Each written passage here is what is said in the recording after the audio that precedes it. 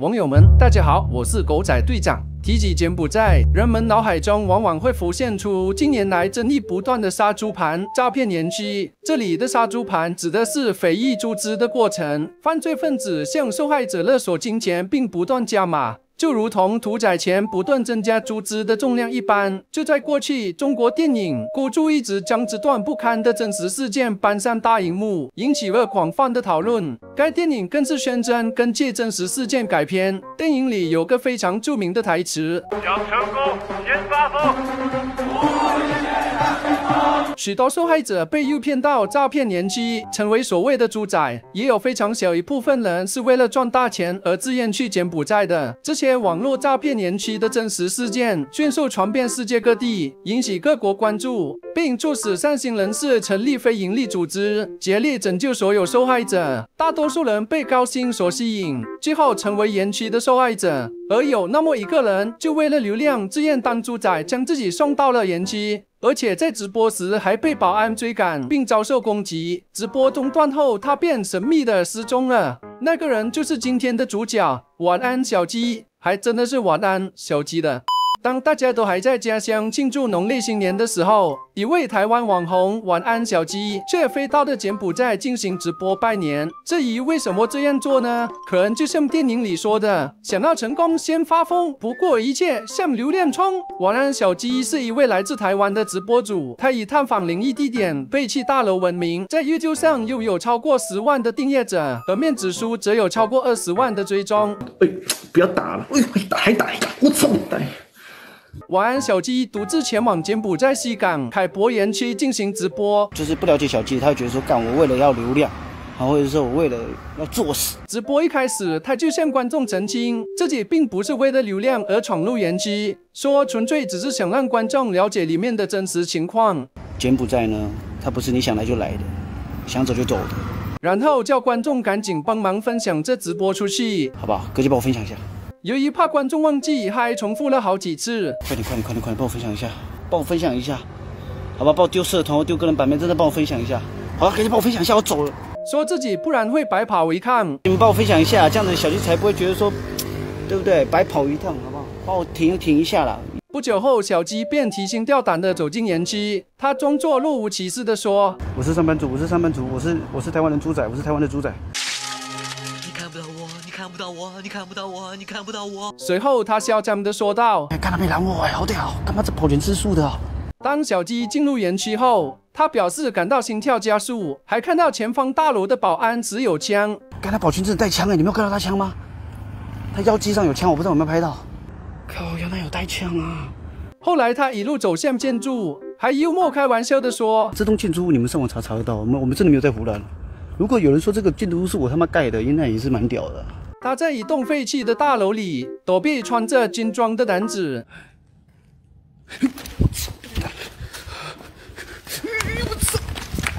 但因为发出声音惊动了对方，于是双方立即展开了追逐。小鸡暂时摆脱追兵后，他带着哭腔无助的表示该怎么办。我真的我的初衷只是希望你们不要被骗来柬埔寨而已，我想让你们了解。接着，在大楼里，他发现了疑似干掉的血手印和其他血迹。这个是干掉的血的，这干掉的血迹的。但在下楼时踢到了一个塑料瓶，恰巧吸引了正好靠近楼梯口的军装男子。哎，我操！手抖，手抖，对不起。于是双方再次开始了追赶，一路上小鸡在某一层楼绊倒，手机从手中滑落。接着从直播中能听到疑似踢踹的殴打声和小鸡痛苦的哀嚎。最后保安拿起了手机，还非常细心的帮忙将直播给关掉。我想问，这保安是哑巴的吗？事件曝光后，凌晨五点多，网红晚安小鸡的妻子爱婆已有人在脸书开直播，透露目前已透过两条管道找人，希望请当地的旅行社去联系导游，从中得知小鸡的现在状况。另外，则是请工作人员带钱前往当地，前往柬埔寨了解状况。一旁的爱婆面色凝重，过程中还频频拭泪。网友们对这起事件留言说，演技有待加强，这样了还不报警，家人一起演戏。案发后，妻子和友人并没有报案，他们只是开了个直播。可万万没想到，失联一整夜的小鸡在下午再度开直播，他衣衫褴褛，神色不安地在户外奔跑，说明自己跑出来了。可惜我跑出来了，跑出来了。他声称手脚、脖子遭人绑在椅子上，还被电击棒电伤。他们拿电击棒，干，该自己点的。三千多美金被对方抢走，他表示目前已经逃出来。说要把我放走，我不知道他是不是真的要把我放走。他叫我，他说 leave，我不知道他是不是真的要放我走，我就一直跑，一直跑，一直跑，一直跑，一直跑，一直跑。这都是自作自受，哭喊想回家。我想回家。没想到保安竟然还提供免费剃头发呢。我们有问到第一破绽，为什么跑出来还有手机可以用？这网速不错，哪家的？过年看场戏也不错，被捉对方手机还留给你，怕你无法拍摄，人真好。没听过不到一天就可以出来的。还有人爆料小鸡撒谎，在度假村说自己被绑架。网红四叉猫根据小鸡的直播画面，再以街景地图进行对比。进而掌握到对方的位置，旁边有整排的饭店，感觉是个蛮安全的地方。小鸡根本不是闯进诈骗集团的凯博园区，而是在一大片观光海边旁直播，因此引发真假之谜。对此，馆长在直播中发现几项疑点。馆长表示，首先，真要逃亡的话，早就应该把所有东西都丢掉，方便全力逃跑。然而，晚安小鸡却持着自拍棒逃亡。你让人家追。还可以拿着自拍棒让人家追，他那个画面很稳嘞，他都把他这样这样跑哎，人家拿刀拿枪追你，你早就 那东西啊，你早就这样跑了，这样这样好吧？一边跑一边讲话，没有被追过，我来不及，我来不及。诈骗集团捉到他，并剃掉他的头发，这样做的用意是什么？身上也没有任何异伤。我去剃你的头发，到底要第一个，我剃你的头发到底要干什么？我不知道。小鸡不是特种兵出身，能够这么快逃脱，不知道是他太厉害，还是诈骗集团太无能。看你跑那个怂样子。接着馆长还说道：“如果以下这一段是假的，哦，阿力有你吧？是假的，那就好玩了。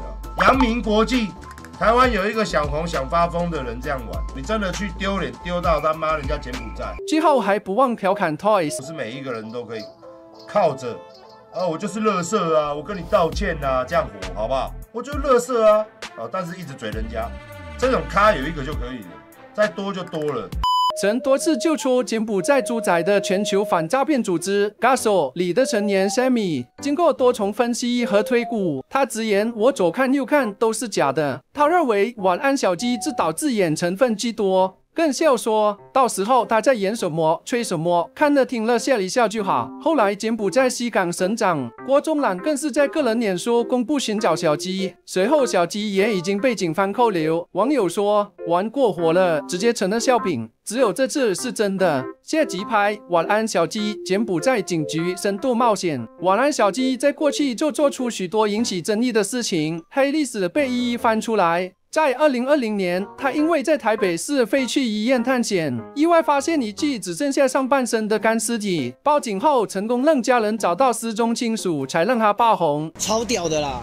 二零二二年，他闯入废弃大楼，说要超度被凶杀小女孩的亡魂，而立马在该地烧金纸，结果让大楼住户气到报警，被以公共危险、侵入住宅及妨害名誉等罪，前函送台中地检署侦办。后续他还闯入金门花岗石医院，还说人家医院闹鬼，结果他被金门县政府报警提告，这才让他发出道歉声明。二零二三年，他在直播卖香港红大仙庙招财钱母，他说道：每年第一张都被香港首富李嘉诚预定，每一张都有稻香炉过火，保证正版，不是网络上的盗版假货。不瞒你说，其实我的每一支影片，第一个观看的是一龙马，M 一龙马，Money。给么队友？给么队友？